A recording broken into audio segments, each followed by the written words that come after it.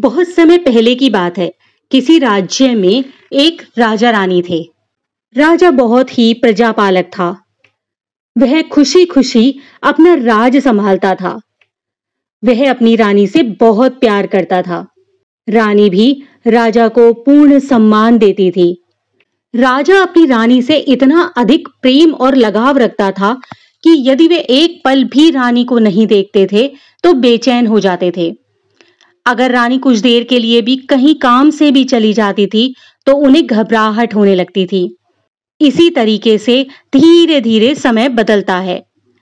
रानी गर्भवती होती है और नौ महीने में एक पुत्री को जन्म देती है। लेकिन पुत्री को जन्म देने के बाद ही रानी की मृत्यु हो जाती है। जब ये समाचार राजा को मिलता है तो वह बहुत दुखी हो जाते हैं। उन्हें रानी की मृत्यु का इतना दुख होता है कि वह अपनी पुत्री को ही उसके लिए दोषी मानने लगते हैं कि इसी के कारण मेरी रानी मुझे छोड़कर चली गई है। और वो उससे इतनी नफरत करने लगते हैं कि उसे देखना भी पसंद नहीं करते। वह दाई से यहाँ तक कह देते हैं कि इसे मरवा दो। मैं इसका मुख तक नहीं देखना चाहता। इसी की वजह से रानी मुझसे दूर हुई है। ये तो कुलक्ष्मी है। यह सब सुनकर दाई को उस बच्ची पर बहुत दया आती है। वह सोचती है, फूलों से भी कोमल इस राजकुमारी को राजा ने त्याग दिया। इसमें भला इस नन्ही सी जान का क्या दोष है? फिर दाई राजा से विनती करती है, हे महाराज, आप कुछ मत कीजिए, मैं इस राजकुमारी को पालूँगी, वह इस महल में रहेगी, आप इतना बड़ा अनर्थ मत कीजिए दाई के समझाने पर राजा समझ गए।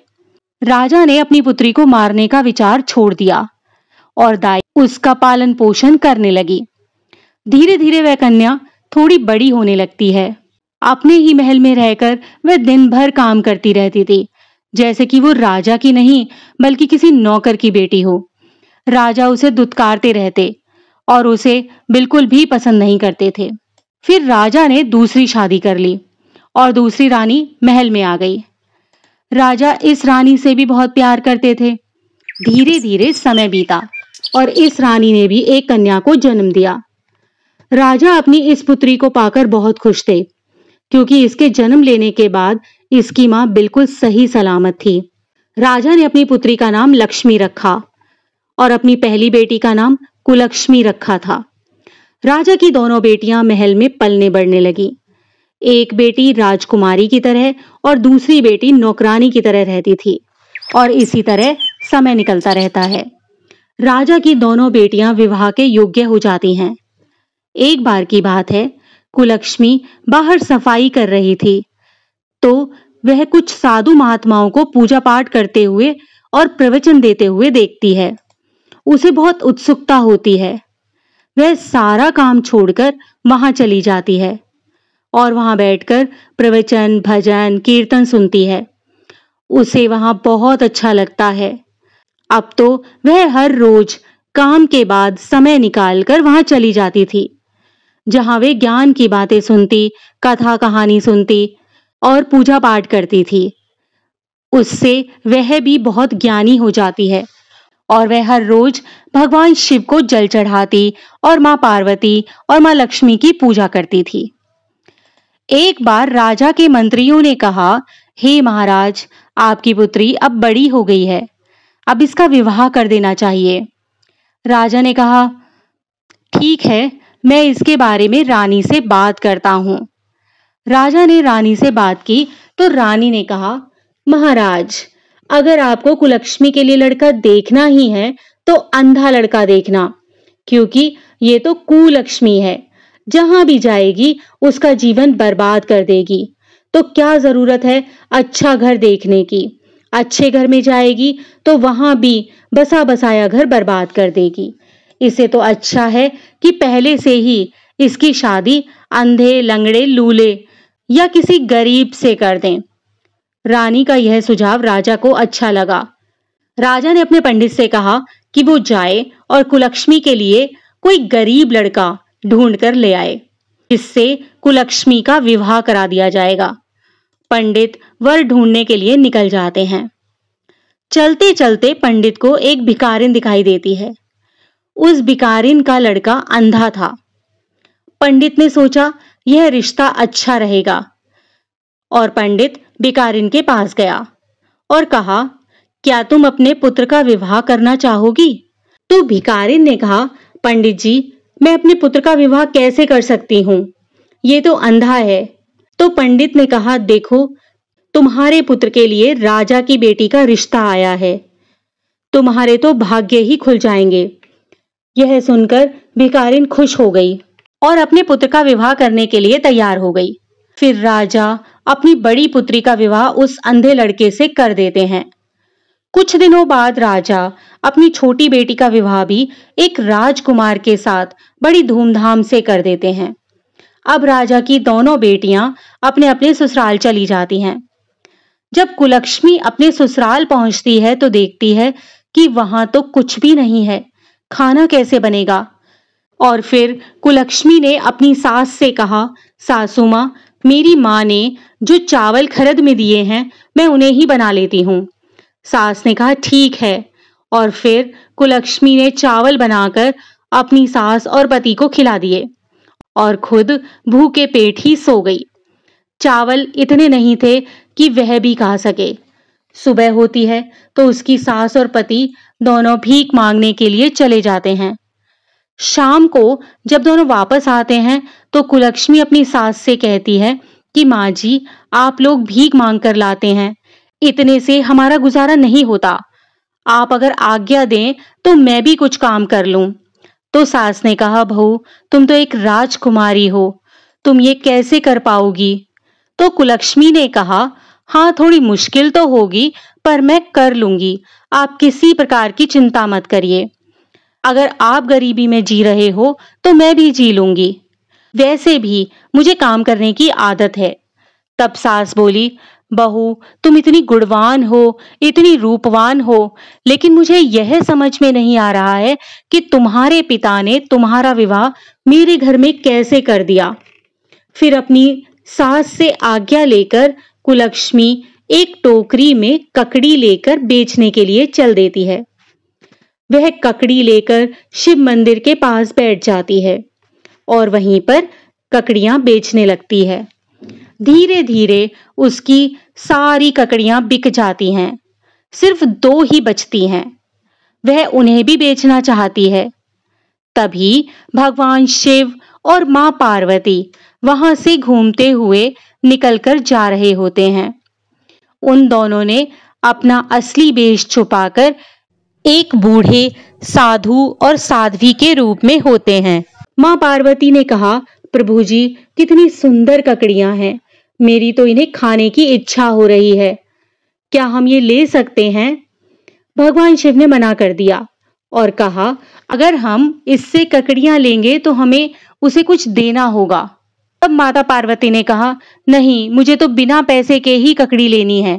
माता पार्वती जिद करने लगती हैं और कुलक्ष्मी के पास जाती हैं और कहती हैं, पुत्री, मुझे बहुत भूख लगी है। क्या तुम मुझे ये ककड़ी दे सकती हो? लेकिन मेरे पास तुम्हें देने के लिए पैसे नहीं हैं। तब कुलक्ष्मी ने कहा, हे माँ, आप तो मेरी माँ के समान हैं। अगर आपको भूख लगी है तो आप ये ककड़ियाँ खा सकती हो। मुझे पैसे नहीं चाहिए। मेरी माँ बचपन में ही मर गई थी, और मेरे पिता भी मुझसे घृणा करते हैं। वह मुझे देखना भी पसंद नहीं करते। मेरे पति अंधे हैं। और मेरी सास भीख मांगती है। मेरे पास एक माँ की कमी थी तो आप ही मेरी माँ हैं। आप प्यार से इस ककड़ी को खाएँ। माँ पार्वती ने खुशी खुशी वो फल खाया और कहा, बेटी, मैं बहुत दूर से आई हूँ। मेरे पैर बहुत दुख रहे हैं। क्या तुम मेरे पैर दबा दोगी?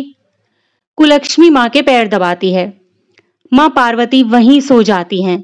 और उनको बहुत पसीना आ जाता है। तब कुलक्ष्मी ये देखती है तो अपनी साड़ी के पल्लू से माँ को हवा करने लगती है। माँ पार्वती यह सब देख रही थी। वह सोच रही थी कि कुलक्ष्मी कितनी अच्छी है। इसके दिल में कितनी ममता और दया है। और भगवान शिव इसकी परीक्षा लेते रहते हैं। वह मन ही मन भगवान शिव से कहती है, हे प्रभु, यह तो बहुत अच्छी है। और तुम्हारी भक्तिन भी है। आप इसकी परीक्षा लेना बंद कीजिए और आप इसे धन धान से संपन्न कर दीजिए। तो भगवान शिव ने कहा, देवी, आप भी तो लक्ष्मी हैं, भवानी हैं। आपके पास भी तो सब कुछ है तो क्यों नहीं इस कुलक्ष्मी को आप ही धनवान कर देती? तब माँ पार्वती ने माँ लक्ष्मी के साथ मिलकर कुलक्ष्मी को वरदान दिया और कहा कि, बेटी तुम्हें क्या चाहिए? कुलक्ष्मी ने कहा, माँ, मुझे कुछ नहीं चाहिए। फिर माँ पार्वती ने एक मुट्ठी विभूति कुलक्ष्मी को दी और कहा, इसको अपने घर ले जाना। शाम को कुलक्ष्मी अपने घर आती है और अपनी सास को सारी बात बताती है। तो सास कहती है, बेटी, यह तो बहुत अच्छी बात है। अगर साधु महात्मा विभूति देते हैं तो उनका सम्मान करना चाहिए। तुम इसको अच्छे से रख दो। और वह अपने पति से पूछती है, वह कहता है कि तुम इस विभूति को पूरा बक्से में और घर के चारों कोनों में हर जगह डाल दो, पूरा घर पवित्र हो जाएगा। लक्ष्मी ने ऐसा ही किया। फिर वे सब खाना खाकर सो जाते हैं। सुबह जब कुलक्ष्मी उठती है तो क्या देखती है कि उसकी झोपड़ी की जगह आलीशान महल था। उसे बहुत आश्चर्य होता है। फिर वह अपनी सास को उठाती है। सास भी अचंबित रह जाती है। वो कहती है, बेटी, यह सब क्या है? तो कुलक्ष्मी कहती है, माँ जी, ये भगवान शिव और माँ पार्वती की कृपा है। वह विभूत देने वाले साधु साध्वी कोई और नहीं, बल्कि स्वयं माँ पार्वती और भगवान शिव ही थे। मैं उन्हें पहचान नहीं सकी। तभी उसका पति आता है और कहता है देखो, मेरी आँखें वापस आ गई हैं। मैं देख सकता हूँ। यह सब देखकर कुलक्ष्मी की आँखों में आँसू आ जाते हैं। और फिर दिल से भगवान शिव और माँ पार्वती को धन्यवाद करती है। सब मिलकर भगवान शिव का मंदिर बनाते हैं। और हर रोज भजन, कीर्तन तथा साधु संतों को भोजन कराते हैं। और गरीब, बेबस लोगों की मदद किया करते हैं। और इसी तरह वे अपना जीवन बिताने लगते हैं। उधर, कुलक्ष्मी के पिता धीरे धीरे गरीब होते जा रहे थे। जब राजा को पता चला कि उनकी बेटी कुलक्ष्मी धनवान हो गई है, वह रानी बन गई है तो उन्हें अपनी गलती का पछतावा होता है। और वे सोचते हैं कि मेरी ये बेटी तो लक्ष्मी थी, कुलक्ष्मी नहीं। मैंने ही इसे अपशगुनी समझ लिया था। और उसका विवाह एक अंधे लड़के से कर दिया था। उधर कुलक्ष्मी का पति कहता है कि हमने शिव मंदिर बनाया है तो मैं अपने ससुराल न्योता देने जा रहा हूँ। वह राजा के यहाँ जाता है तो राजा उसे देखते ही सोचते हैं कि यह कौन राजकुमार है? इतना सुंदर है। फिर राजा पूछते हैं कि, बेटा, तुम कौन हो? तो कुलक्ष्मी के पति ने कहा, मैं वही अंधा और गरीब हूँ, जिसके साथ आपने अपनी पुत्री कुलक्ष्मी का विवाह किया था। राजा बहुत शर्मिंदा होते हैं और सोचते हैं कि मेरी बेटी तो बहुत भाग्यवान है, जहाँ जाती है बरकत करती है, और मैंने उसका अपमान किया। फिर राजा अपने दामाद से क्षमा मांगते हैं और अपनी बेटी को भी वहाँ बुला लेते हैं। पहली बार राजा अपनी बेटी को हृदय से लगाते हैं, उसका सम्मान करते हैं। और इस तरह कुलक्ष्मी फिर अपने पिता के घर आती जाती रहती है। धीरे धीरे राजा भी धनवान हो जाते हैं और कुलक्ष्मी की छोटी बहन लक्ष्मी उसके ऐसे दिन फिरते हैं कि वो गरीब हो जाती है। उसकी सास उसे लगातार ताने मारती है, उसके घर लड़ाई झगड़े होने लगते हैं वह परेशान होकर अपने पिता के घर आ जाती है और अपने पिता से कहती है, पिताजी, मेरे घर में सब बर्बाद हो गया है। मेरी सास मुझे ताने मारती है। घर में हमेशा कलेश बना रहता है। उनका कहना है कि मेरे आने से वहाँ सब बर्बाद हो गया है। मैं क्या करूँ? ये सब बातें कुलक्ष्मी भी सुनती है। तो वह अपनी बहन से कहती है, बहन, तुम मेरी बात ध्यान से सुनो। तुम भगवान शिव और माँ पार्वती की पूजा पाठ करो, उनका मंदिर बनवाओ। दान दक्षिणा करो, गरीबों की मदद करो। जब ये सब करोगी तो तुम पर भी भगवान शिव और माँ पार्वती, माँ लक्ष्मी कृपा करेंगी। मेरे साथ भी यही हुआ था। अगर तुम ऐसा करोगी तो ज़रूर तुम्हारा भी भाग्य बदलेगा। लक्ष्मी कुलक्ष्मी, कुछ नहीं होता। हमारे कर्म ही हमें लक्ष्मी और कुलक्ष्मी बनाते हैं। अगर तुम्हारा कर्म अच्छा होगा, भावना अच्छी रहेगी तो तुम्हारे घर में भी माँ लक्ष्मी और माँ पार्वती का वास होगा। अपनी बेटी की ऐसी बातें सुनकर राजा को बहुत बड़ी सीख मिलती है। लक्ष्मी भी भगवान शिव की पूजा पाठ करने लगती है और धीरे धीरे वह धनवान हो जाती है। भगवान शिव की कृपा से सब और फिर से धन और सुखी हो जाते हैं। और खुशी खुशी अपना समय बिताते हैं। जय माँ लक्ष्मी जय माँ पार्वती।